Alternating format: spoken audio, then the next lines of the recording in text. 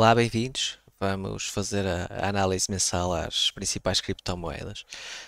Começando aqui pela, pelo peso uh, que a Bitcoin tem neste mercado, podemos ver que, que tem decrescido. Portanto, uh, é notório que cada vez mais as outras moedas surgem como uma alternativa à Bitcoin e como um, um destino dos investimentos dos, dos investidores. Uh, não é claro que seja a Bitcoin a perder peso ou perder qualidade ou valor, muito menos isso. Uh, é sim, se calhar, um reflexo da, da, da, cada vez mais quantidade de investidores que aparecem neste mercado, uh, mas também a cada vez mais quantidade de alternativas que existem uh, no, no segmento das, das criptomoedas. Portanto, se calhar esta tendência vai continuar, ou seja, a Bitcoin vai perder relevância e peso na, neste segmento. Uh, vamos, vamos acompanhando, mas parece que a tendência será essa e aqui em agosto foi, foi notório uh, esse, essa perda de, de, de, cota de mercado, digamos assim. Começando então precisamente pelo Bitcoin, e vão ver que isto é transversal às moedas que vamos, que vamos falar, ou seja, todas elas aqui em julho vieram testar aqui um suporte, no caso da Bitcoin é nos 29,178.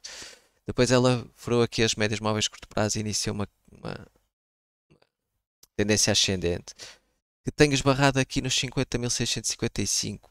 Ela está a encontrar aqui alguma resistência, no entanto, parece-nos que ela está a fazer aqui um triângulo ascendente e que mais cedo ou mais tarde poderá ultrapassar essa resistência. Quando isso acontecer, tem caminho livre para testar aqui valores mais altos, como este e como o máximo.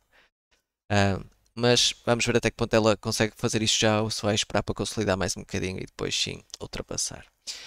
Ethereum lá está, já é um bocado diferente da Bitcoin. Eh, ela também veio aqui testar um, um suporte, no caso ela era nos 1692, e depois furar as médias móveis também começou aqui a, a galopar, uh, acabou por consolidar aqui um bocadito e reagiu depois muito bem à, à média móvel de 25 que a puxou para cima. As duas últimas sessões foram, foram muito fortes.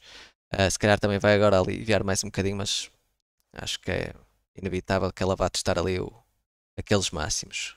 Vamos ver. A Cardano, mesma história aqui, foi bater aqui no suporte, subiu, subiu, subiu. No caso dela, bateu ali no máximo, deu-lhe alguma luta, mas pouquinha. Ela conseguiu logo ultrapassar e quebrar. Depois veio testá-lo e confirmar como suporte. Uh, reparem, foi um toque perfeito. Uh, e pronto, e agora tem caminho ali para continuar a subir.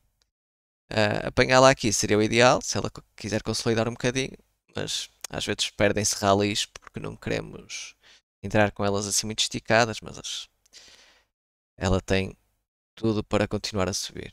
Vamos ver é com que velocidade.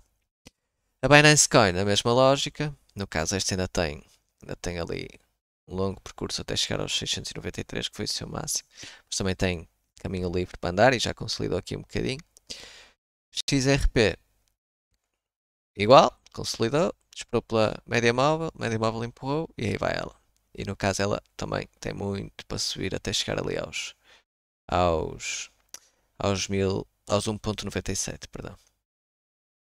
E pronto. Uh, como podem ver, uh, uh, o mês de agosto foi muito bom para todo o mercado de criptomoedas. Houve muito dinheiro a entrar, muito, muitos preços a subir. vamos ver, parece que setembro vai, vai trazer mais do mesmo. Obrigado por terem assistido. Sigam o nosso canal, visitem o nosso site e bons negócios. Obrigado.